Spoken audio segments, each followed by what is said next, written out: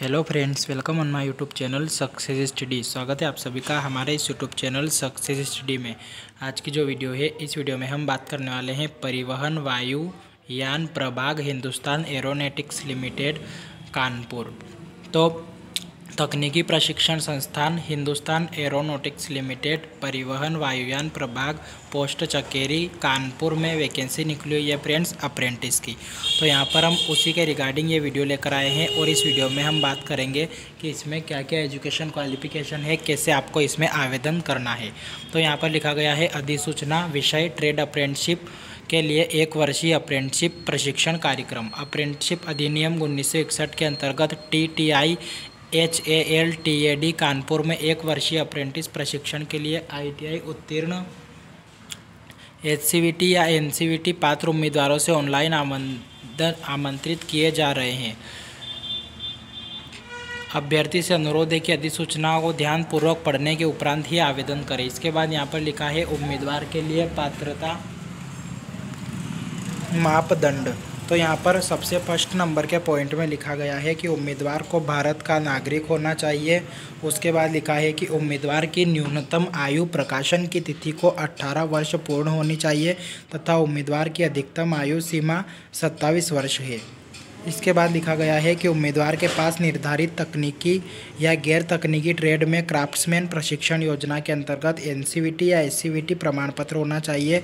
निर्धारित ट्रेड की सूची संलग्न है। उसके बाद लिखा है कि जो उम्मीदवार पूर्व में अप्रेंटशिप कर चुके हैं या अन्य संस्थान से अप्रेंटशिप कर रहे हैं, वो इसमें आवेदन नहीं करे या फिर वो आवेदन के लिए पात्र नहीं है। इसके बाद लिखा गया है कि एक वर्ष या उससे अधिक का कार्यानुभव रखने वाले उम्मीदवार आवेदन करने हेतु तो पात्र नहीं है।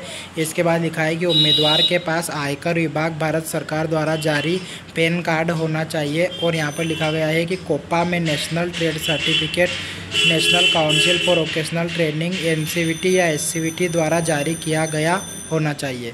इसके बाद लिखा है कि चयनित अभ्यर्थियों की प्रशिक्षण अवधि एक वर्ष होगी। इसके बाद फ्रेंड्स, अगर हम निर्धारित आईटीआई ट्रेड की सूची और शैक्षणिक योग्यता अगर देखें तो यहाँ पर लिखा गया है फीटर।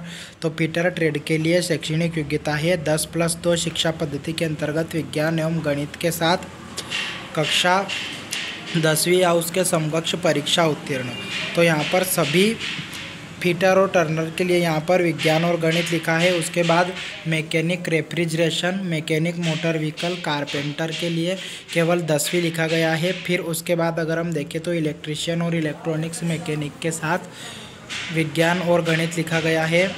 और इसके बाद वेल्डर मशीनिस्ट वेल्डर में केवल दसवीं पास होना चाहिए।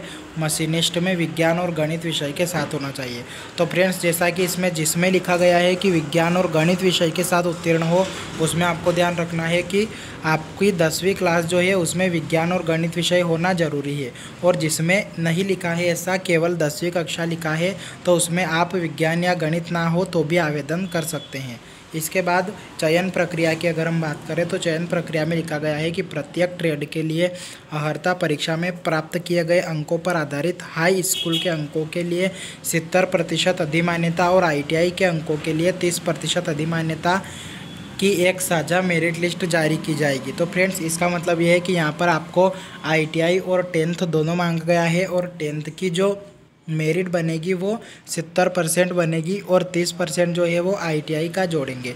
तो इस टाइप से आपकी हंड्रेड परसेंट मेरिट बनाई जाएगी, जिसमें से सेवेंटी परसेंट वेटेज आपका टेंथ क्लास का रहेगा और थर्टी परसेंट वेटेज आपका आईटीआई का रहने वाला है। इसके बाद यहाँ पर लिखा गया है, आरक्षण अप्रेंटिस अधिनियम के अनुसार लागू होगा और उसके बाद लिखा है कि चयनित उम्मीदवारों को चिकित्सीय परीक्षण होगा और उन्हें अपने जनपद के कम से कम सहायक सर्जन की रैंक के सरकारी चिकित्सा अधिकारी द्वारा स्वस्थ घोषित किया जाना आवश्यक होगा। इसके बाद यहाँ पर लिखा है कि उम्मीदवार को अपने निवास स्थान के पुलिस आयुक्त या पुलिस अधीक्षक द्वारा पुलिस अनापत्ति प्रमाण पत्र अवश्य प्राप्त करना होगा और इसके बाद लिखा है कि यदि अभ्यर्थी वर्तमान में सेवानिवृत्त या दिवंगत एच कर्मचारी के आश्रित है तो वे अपने आवेदन मानव संसाधन विभाग से अग्रसारित करवा कर ही जमा करें। इसके बाद फ्रेंड्स, यहाँ पर अगर हम इम्पोर्टेंट डेट की अगर बात करें तो यहाँ पर 10 नवंबर 2020 लिखी गई है। 10 नवंबर 2020 तक आपके जो आवेदन है, वो वहाँ पर पहुँच जाने चाहिए, जो इन्होंने डेट दी है, उस डेट को आपके आवेदन वहाँ पर ऑफलाइन पहुँच जाने चाहिए पोस्ट ऑफ़िस के द्वारा।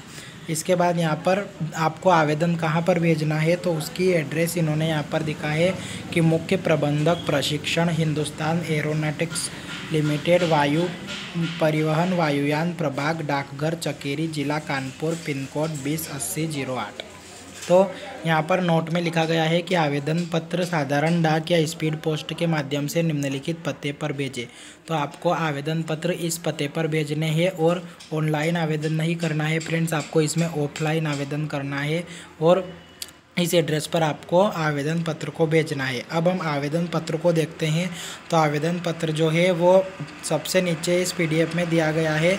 आवेदन पत्र के साथ सल संलग्न किए गए प्रपत्र की जाँच सूची। तो यहाँ पर सबसे पहले आपको क्या भेजना है? अप्रेंटिस पंजीकरण संख्या को दर्शाते हुए पंजीकरण और प्रोफ़ाइल कॉपी संलग्न करें। तो आपको अप्रेंटिस की प्रोफ़ाइल का प्रिंट आउट यहाँ पर भेजनी है। इसके बाद हाई स्कूल अंकपत्र या प्रमाण पत्र आपको टेंथ की मार्कशीट भेजनी है। इसके बाद आई टी अंकपत्र या प्रमाण पत्र आपको भेजना है। इसके बाद आपको आधार कार्ड की स्व प्रमाणित छाया प्रति मतलब कि सेल्फ अटेस्टेड फोटोकॉपी आपको भेजनी है।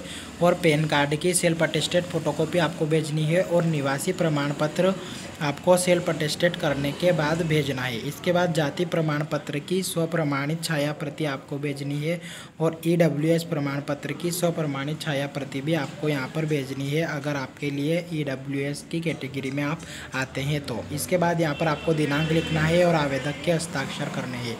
ये पेज भी आपको भेजना है फ्रेंड्स और इस पेज के बाद यहाँ पर आवेदन पत्र दिया है। यह आवेदन पत्र भी आपको यहाँ पर भेजना है। तो आवेदन पत्र में सबसे ऊपर लिखा गया है H A L T A D Kanpur में अप्रेंटिसशिप प्रशिक्षण के लिए आईटीआई उत्तीर्ण उम्मीदवारों के चयन हेतु आवेदन पत्र और अंतिम तिथि है 10 नवंबर 2020 इसके बाद ये पूरा आवेदन पत्र आपको फिल कर लेना है और फिल करने के बाद आपको जो भी ऊपर लिखा गया है वो सारी डॉक्यूमेंट्स आपको सेल्फ अटेस्टेड करके और इसके ऊपर आपका फ़ोटो लगा के मैंने जो एड्रेस बताया है और यहाँ पर जो एड्रेस लिखा गया है, उस एड्रेस पर आपको ये सारी जानकारी और ये आवेदन पत्र भेजना है।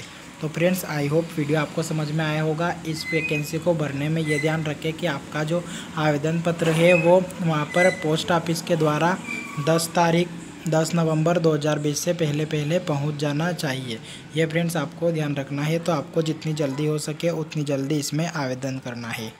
मिलते हैं फ्रेंड्स नेक्स्ट वीडियो में, तब तक के लिए बाय।